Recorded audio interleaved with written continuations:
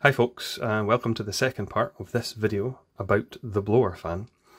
I'm going to try and keep this really brief because uh, there is a possibility that the physics could get quite heavy and difficult to understand and I don't really want to get into that just now. Mostly because, frankly, it's not as much fun as just seeing the demonstrations. But what I want to do with the blower fan, which I have taken apart, as you can see here, I want to quickly explain the physics behind why this is so different from an axial fan. And in one level, it's it's quite easy to understand. And here's how I'm going to do it. I want you to picture two things. The first thing I want you to picture is a golfer. A golfer swinging a golf club at a golf ball. And what happens here is there is a contact that is face on. My hands look really big in the video, I apologise for that.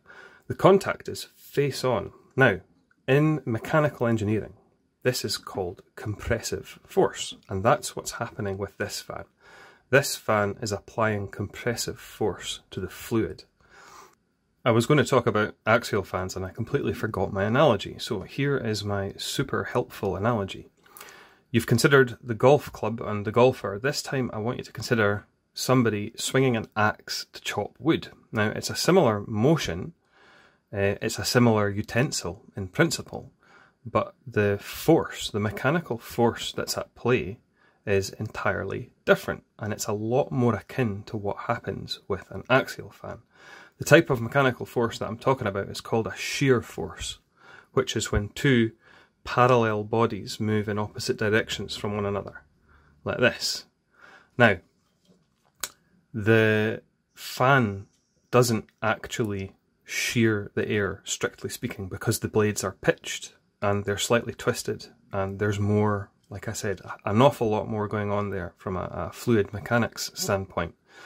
But in principle, this is much more of a wood chopper than it is a golfer, and in that sense, it interacts with the air in an entirely different way. Here's a quick explanation as to why the blower fan did what it did in the last video. It's difficult to explain, but the behaviour that you saw earlier on is all to do with these two different forces and how the fans work. So the best way to understand it is that the blower fan works hardest when there is nothing blocking the outlet. Now that sounds counterintuitive. It's very, very odd that that might be the case. But that is exactly what's happening. The blower fan is working really, really hard to get all that air through that tiny little gap.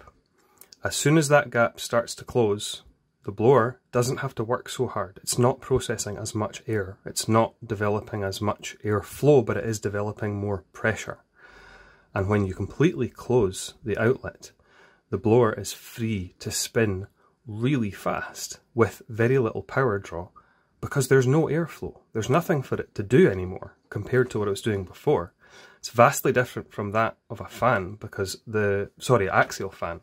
The axial fan has to spin at, against the pressure of the enclosure that is pushing against it. This is called back pressure. And that's why axial fans tend not to be used in air conditioning. They're just not good at developing pressure.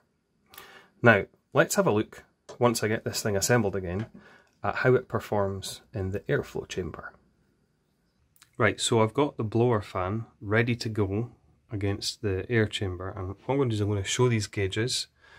Now, by way of explanation, we've been using this gauge until this point because the high resolution is required when it comes to the very weak pressure developed by axial fans. It's a very different story with this blower fan. We need to go to this gauge now.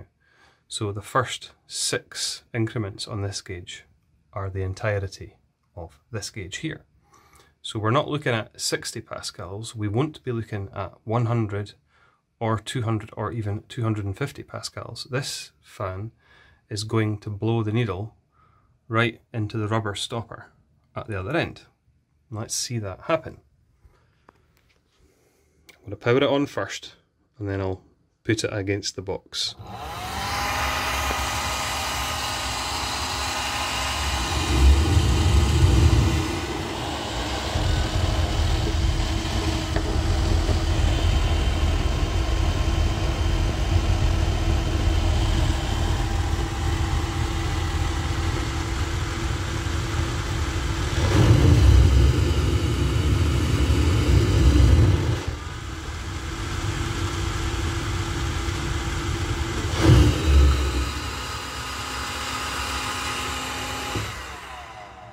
So there you go.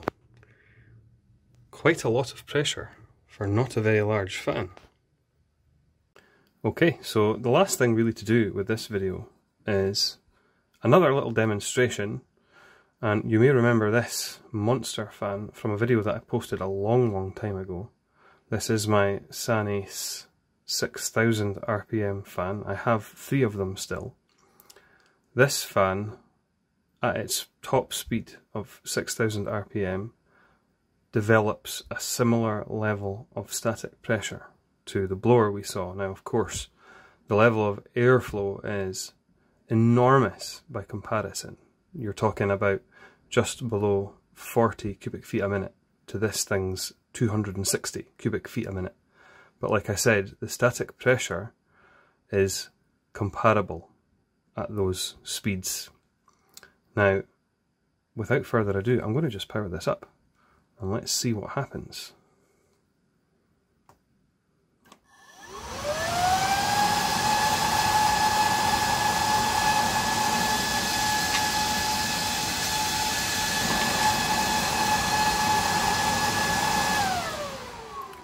So it's just going to blow absolutely everything off my desk if I keep doing that.